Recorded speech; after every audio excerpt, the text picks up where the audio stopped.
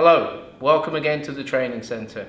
Today I'd like to show you the correct application when using Permahyd Hi-TEC 480 and painting this reflex silver hood. A few points to remember before I begin application. I've checked the climate and using the climate guide that I find in the TDS I've adjusted the base coat using the standard setting. My gun is a 1.2 I've set the inlet pressure at 2 bar with the paint flowing. While I'm applying, all of the functional parts will be fully open, the trigger will be fully pulled to ensure that I'm using the full width of the fan, full delivery of fluid. I'll be applying the base coat in a one and a half coat process, whereby I start here on the outside, applying at a normal distance a full but not over wet coat, working towards the centre of the hood. I will then come back increase my distance to the object, again with a full trigger, and apply a controlled effect coat to top up my hiding and give me good effect orientation and mottling control. To help you follow my painting sequence, I've placed these arrows here that you can see. The idea is that I work from the outside of the hood in towards the centre, finishing on the orange arrow with my full coat, before returning here, increasing my distance and working with my effect coat in towards the green arrow. I will then move to the, the other side. I pick up the wet film from the orange arrow, work back towards myself before going again to the wider area and the green arrow at an increased distance, completing the effect coat to give me the control and orientation I'm looking for. And in doing it in this way, I will avoid any banding or striping in the center of the hood.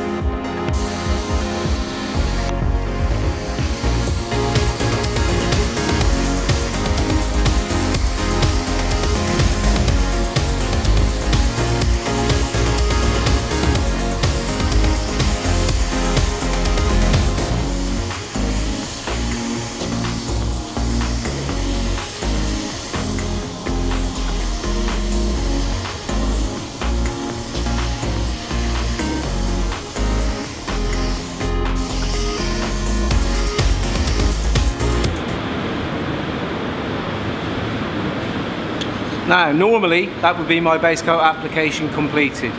However, I want to take the opportunity to share with you a little tip or a little trick.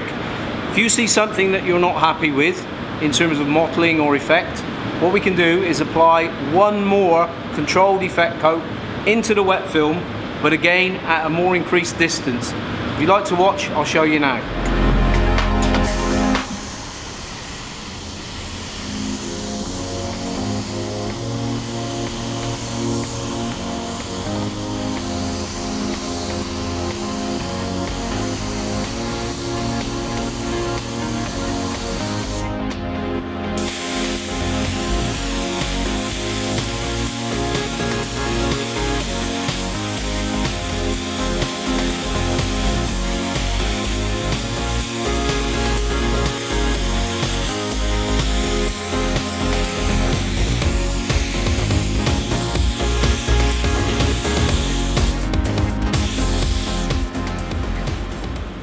That's the base coat application completed. Come in now, let's just take a look at the wet film before I flash it off ready for clear coat. What I wanted to show you was this nice surface structure or texture, whatever you like to call it, that's completely uniform across the hood, even allowing for the fact that I shared with you that little tip about applying one extra coat to correct any mottling that might be present. I'm going to flash this off now, as I say, in readiness for clear, and I know that I'm going to have a perfect flat surface. Here's the base coat after flash. Come and let's just take a quick look before we apply the clear. You'll remember from before, the base coat had a, a structure and a texture that we spoke about. Now, it's completely flowed out, dried out. We have a nice, silky, flat, super smooth finish on which I can apply the clear.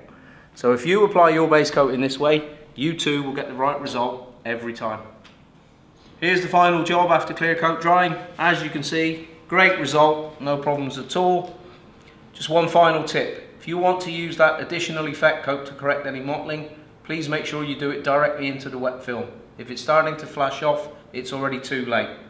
So as my final check, I'm going to put the car outside and take a look at it in daylight. So here we have the job for the, uh, the final inspection. If you come in a little bit closer and take a look, you'll see just as we thought in the spray booth, no clouding, no mottling, great finish from the gun, the job's ready to go. Please refer to the uh, tips at the end of this video. Thanks for your time, see you again soon. To ensure that you control the build-up of unnecessary overspray, please make sure that you keep the effect coat well within the limits of the first.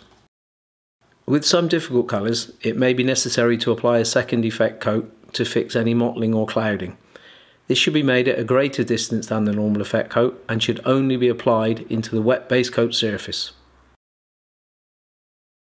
Maintaining structure in the wet film is key. This will help you avoid clouding and will help improve colour accuracy. Take care not to over wet or over apply the base coat.